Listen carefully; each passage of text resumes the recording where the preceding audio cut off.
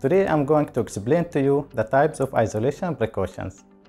Transmission-based precautions are applied in addition to standard precaution to patients known or suspected of being infected, which are first, contact precaution used to prevent and control the infection that spread through direct contact with the patient. Appropriate PPE, wash hands, gloves, gown.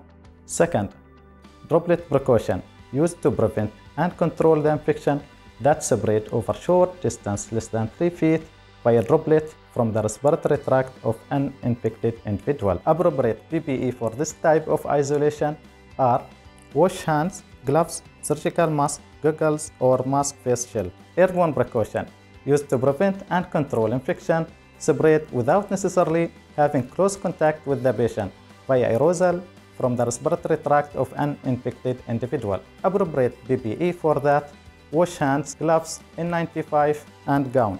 Thank you for watching.